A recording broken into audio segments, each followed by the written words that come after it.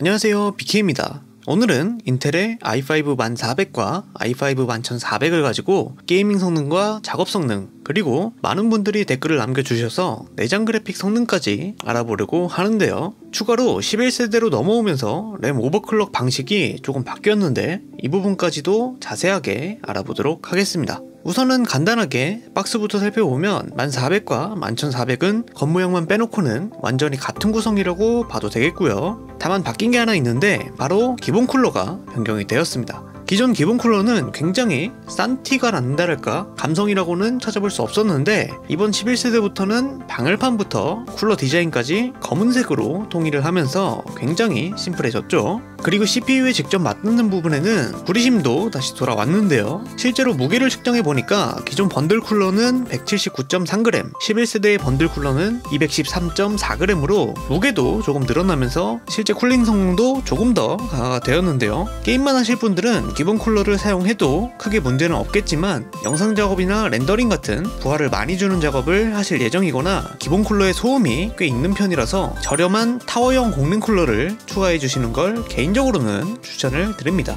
아무튼 우선 스펙부터 살펴보면 1400과 11400은 코어 thread부터 공정, L3 캐시, TDP 등은 모두 같지만 clock에는 조금 변화가 있고요. 초반에도 말씀드렸다시피 스펙에는 기재가 안 되어 있지만 램 overclock을 하는 방식이 조금 달라졌는데요. CPU-Z에서 메모리 부분을 보게 되면 램 clock과 타이밍은 모두 같지만 이 부분에 memory controller frequency라는 항목이 추가가 된 것을 확인할 수 있었습니다. BIOS 화면에서도 이렇게 1대1 기어 1과 1대2 기어 2로 나뉘어져 있는데요. 아마 라이젠 시스템을 사용하시는 분들은 굉장히 익숙하실 겁니다. 그리고 AIDA 64로 latency를 측정해 보면 동일한 환경에서 11세대보다 이전 10세대가 latency가 더 낮은 것을 확인할 수 있는데요. 과연 이 부분이 성능에는 어떻게 영향을 미치는지 지금부터 게임을 돌려보면서 알아보도록 하겠습니다.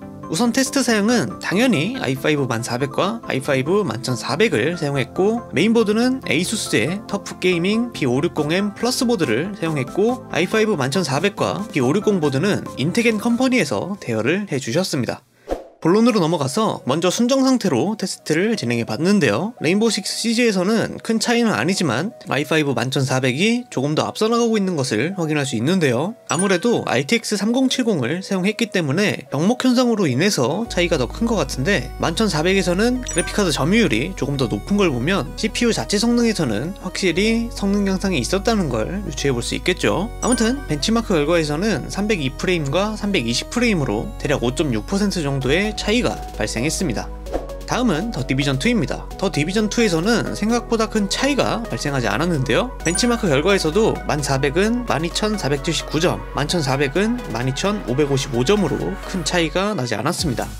마지막으로 배틀그라운드인데요. 다들 아시겠지만 이 게임은 벤치마크를 하기에 적합한 게임은 아니지만 그래도 아직까지 많이들 하시기 때문에 테스트를 해봤습니다. 확실히 프레임 차이가 눈에 보이는 수준인데요. 그래프로 보게 되면 레인보우 6 시즈는 평균 프레임은 6%, 하위 1% 프레임은 4.6% 정도 차이가 났고 The Division 2의 경우에는 평균 프레임과 하위 1% 프레임 모두 소수점 이하의 차이라서 사실상 큰 차이는 없었고 배틀그라운드의 경우에는 평균 프레임은 7.7%, 하위 1% 프레임은 4.5%의 차이를 보여줬습니다. 이렇게 순정 상태에서는 큰 차이는 아니지만 11세대 i5 11400 쪽이 확실하게 앞서는 것을 확인할 수 있었는데요. 그렇다면 램 오버클럭을 넣어주면 어떻게 될까요? 우선 1400은 4000클럭에 17, 22, 22, 44로 안정화가 되었고 11400의 경우에는 1대1 기준 3600클럭에 18, 21, 21, 44로 안정화가 되었고 1대2 기준에서는 1400과 동일한 클럭과 타이밍으로 안정화를 할 수 있었습니다.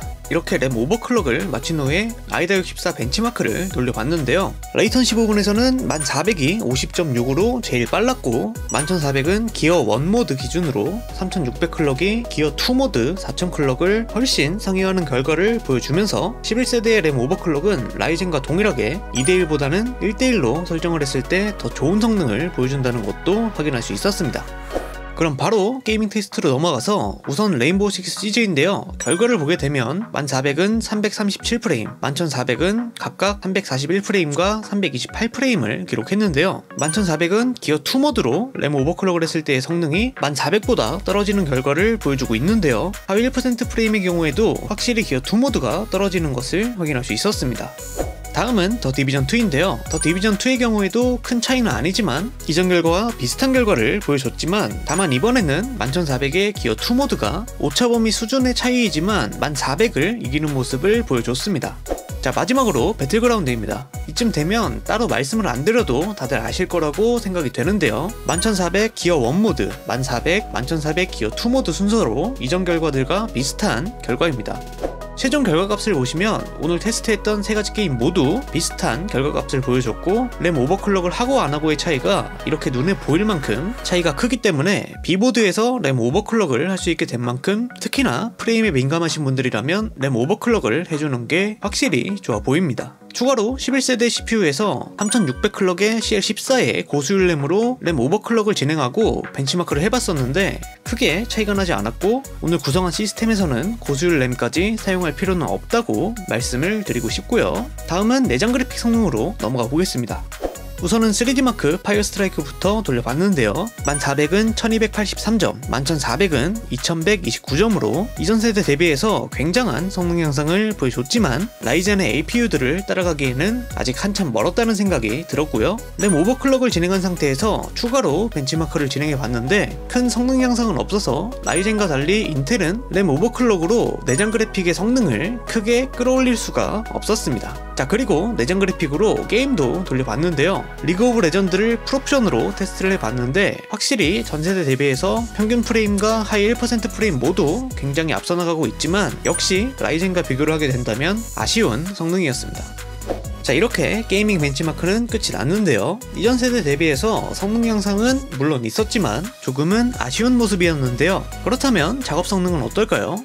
우선은 X264 영상 인코딩 테스트입니다. 10400은 37초, 11400은 30초가 걸렸는데요. 10400이 7초가 더 느린 결과를 보여주면서 수치로 따지면 23% 정도 차이가 난다고 말씀드릴 수 있겠고요. 블렌더에서는 10400은 4분 51초, 11400은 3분 57초로 10400이 52초나 더 오래 걸렸고 이번에도 수치로는 대략 18% 정도 차이가 났습니다. 마지막으로 시네벤치 R20의 경우에는 1400은 3167점, 11400은 3912점으로 745점이나 차이가 났는데요. 수치로 따지면 23% 정도 차이로 작업 영역에서는 11세대가 체감할 수 있을 정도로 앞서고 있었습니다.